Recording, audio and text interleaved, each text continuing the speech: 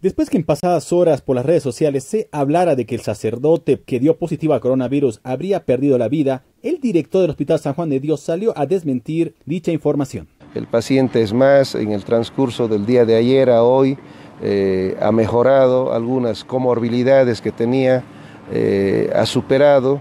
Hoy en día efectivamente el paciente sigue grave, pero solamente con patología pulmonar. Ya la patología renal, patología cardiovascular que en su momento tenía, ya no existe, está bastante estable.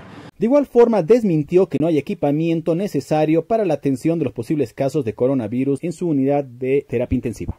Una unidad con 14 camas de terapia intensiva, nos van a llegar más porque eh, se ha adquirido 33 unidades, tenemos justo aquí una sala de aislamiento, tenemos un equipo de laboratorio nuevo, un equipo de, rayos X, o sea, estamos casi completamente equipados, yo diría, ¿no? nos van a llegar en el transcurso de las dos semanas siguientes tres hospitales eh, móviles eh, del ejército de Estados Unidos que los están construyendo exclusivamente para acá.